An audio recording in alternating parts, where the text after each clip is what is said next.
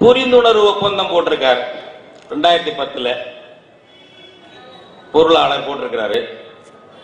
புரிந்துணர்வுன்னா என்ன? நான் கையெழுத்து போட நீ எவ்வளவு தருவன்னு கேட்பது. அதுல ஒரு புரிதல் உண்டாவது. ஐநூறு கோடியா ஆயிரம் கோடியா? கிரேட் ஈஸ்டர்ன் எனர்ஜி கார்பரேஷன் எத்தனை நூறு கோடி கொடுத்ததோ தெரியல. புரிந்து கொண்டார்கள். ஒப்பந்தம் போட்டு கொண்டார்கள். அதுதான் புரிந்து உணர்வு ஒப்பந்தம். இது ஐயாவும் இப்படித்தான் போட்டார் அம்மாவும் இப்படித்தான் போட்டுக் கொண்டிருக்கிறார். ஏனென்றால் தமிழ்நாட்டு முதலமைச்சர் என்பவர்கள் வந்து பெரும்பாலும் அவர்களுக்கு பெரிய அதிகாரம் எல்லாம் கிடையாது அரசியல் சட்டப்படி. ஒரு பெரிய ரியல் எஸ்டேட் முகவர்கள் அவர்கள் தமிழ்நாட்டு முதலமைச்சர். பன்னாட்டு நிறுவனங்கள் இவர்களை அப்படித்தான் பார்க்கிறது. ஒரு பெரிய நிலத்தரகர்கள். இப்படியாக இங்கே வந்து இந்த மண்ணிலே அவர்கள் இந்த மண்ணையே பாலைவனமாக்குவதல்ல. ரசாயன குப்பையாக்குவது. கடித்து குதறி துப்புவது இந்த மண்ணை. பாலைவனம் கூட பயன்படும்.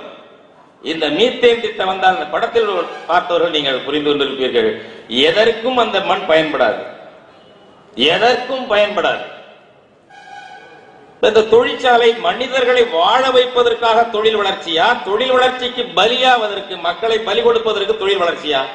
யாருக்கு எங்கேயோ ஒருவன் இருப்பான் அவன் கொள்ளையடிப்பதற்காக கொள்ளை லாபம் அடிப்பதற்காக கோடிக்கணக்கான மக்களை பலியிடுவதற்கான தொழில் வளர்ச்சி எதற்கு தேவை? தொழில் வளர்ச்சியை பற்றிய நமக்கு ஒரு புரிதல் வேண்டும். பெருவீத தொழிற்சாலை எல்லாம் ஒழிக்கப்பட வேண்டும் மாற்றப்பட வேண்டும். எங்கேயா இருந்தாலும் சரி.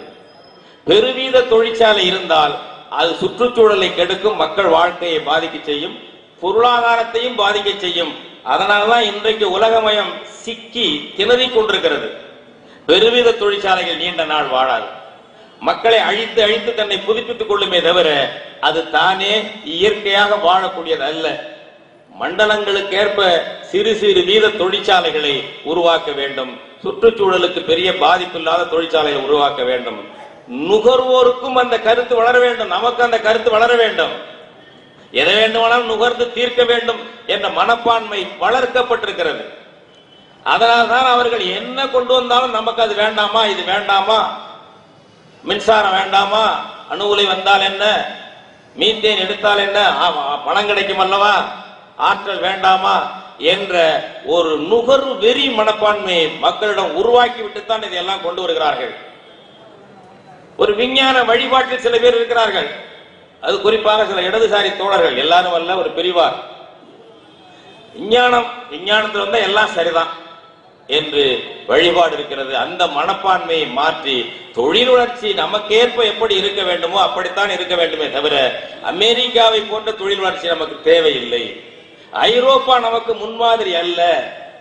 அமெரிக்காவே சிக்கி சீரழிந்து கொண்டிருக்கிறது. இங்கே தோழர் சுந்தரராஜன் சொன்னார் அல்லவா? எதற்காக அவனுக்கு தெரியாதா? ஆட்டுத்தோல் மாட்டுத்தோலை இங்கே சென்னைக்கு அனுப்புகிறான் ஆம்பூருக்கு அனுப்புகிறான் அங்க இருந்து. நாம் அதை பதப்படுத்தி நம்முடைய மண்ணை கெடுத்து நீர் வளத்தை கெடுத்து கொண்டு அவனுக்கு திருப்பி அனுப்பி வைக்கிறோம். அவன் அங்கே நுகர்வு பண்டமாக அதை மாற்றிக் கொள்கிறான். ஏன் இந்த க- சுத்திகரிப்பதற்கு இதை பதப்படுத்துவதற்கு இந்த ஆட்டுத்தோல் மாட்டுத்தோல் பாம்பு தோலை பதப்படுத்துவதற்கு அவனுக்கு தொழில்நுட்பம் இல்லையா? அவர்கள் மண் பாதிக்கப்படக்கூடாது அவர்கள் தண்ணீர் பாதிக்கப்படக்கூடாது. இங்கே இருந்து இவ்வளவு. இந்தியாவின் டெட்ராய்டாக சென்னையை மாற்றுகிறோம் என்றால் தமிழ்நாட்டை அழிக்கிறோம் என்று ஒரு முதலமைச்சர் சொல்வதாக அர்த்தம். அதை புரிந்து கொள்ள வேண்டும். டெட்ராய்டு கதி என்ன ஆயிற்று? டெட்ராய்டு என்ற ஒரு நகராட்சியாக இருந்தது. ஒரு சின்ன ஊராட்சியாக மாறி போய்விட்டது. தண்ணீரும் இல்லை ஒன்றும் இல்லை. மக்கள்லாம் வெளியே போய்விட்டார்கள். வாழ தகுதி இல்லாத மண்ணாக டெட்ராய்டு இந்த கார் தொழிற்சாலையால் மாற்றப்பட்டு விட்டது. சென்னையும் செங்கல்பட்டு மாவட்டமும் காஞ்சிபுரம் மாவட்டம் அப்படி மாற்றப்பட வேண்டுமா? வெளிநாடுகளுக்கு ஏற்றுமதியாவதற்காக இத்தனை வண்டிகளை இங்கேயே உற்பத்தி செய்ய வேண்டும். கொஞ்சம் பேருக்கு வேலை தருகிறோம் என்கிறார்கள். அந்த வேலைகளையும் வெளிமாநிலத்திலிருந்து வந்து கைப்பற்றிக் கொள்கிறார்கள். இங்கிருந்தாலும் சரி வெளியிலிருந்து வந்தாலும் சரி தமிழக தமிழகத்தினுடைய சுற்றுச்சூழலை வளத்தை அழிக்கக்கூடிய தொழிற்சாலைகளை எதிர்க்க வேண்டும். அதை போல வண்ண வண்ணமாக பல பல வண்ணங்களாகத்தான் நாம் உடை உடுத்துவோம். வண்ணங்களை உடுத்தலாம். அதற்காக நம்முடைய மண்ணை நீரை மாசுபடுத்தக்கூடிய வண்ண கலவைகள் ரசாயன கலவைகள் போட்டு கண்ணை கவரக்கூடிய வகையில் இருந்தால்தான் நான் உளுத்துவேன் என்று நினைக்க கூடாது. நம்முடைய நுகர்விலும் ஒரு நிதானம் வேண்டும். நுகர்விலும் ஒரு எளிமை வேண்டும். நுகர்விலும் ஒரு தற்காப்பு உணர்ச்சி வேண்டும். நம்முடைய நுகர்வு விருப்பத்தை நம்முடைய நுகர்வு வெறியை அப்படியே வைத்துக் கொண்டு இதையெல்லாம் தடுக்க முடியாது. ஏன் நம்மை நாம் ஒழுங்குபடுத்த வேண்டியிருக்கிறது. நம்முடைய நுகர்வு மனப்பான்மையும் நிதானப்படுத்த வேண்டியிருக்கிறது கட்டுப்படுத்த வேண்டியிருக்கிறது நம்முடைய மனதையும் ஒழுங்குபடுத்த வேண்டியிருக்கிறது அவர்கள் கெடுத்து வைத்திருக்கிறார்கள்.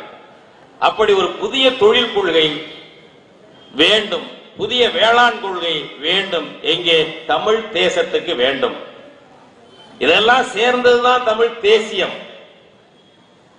இதையெல்லாம் வேளாண் சுற்றுச்சூழல் சேர்ந்ததுதான் தமிழ் தேசியம். வர்ணஜாதி ஒழிப்பு சேர்ந்ததுதான் தமிழ் தேசியம். பெண்ணுரிமையை மீட்பதும் சேர்ந்ததுதான் தமிழ் தேசியம். ஒரு முழுமையான ஒரு வளமான சமூகத்தை புதிய தமிழ் சமூகத்தை உருவாக்குவது என்பதுதான் தமிழ் தேசியம்.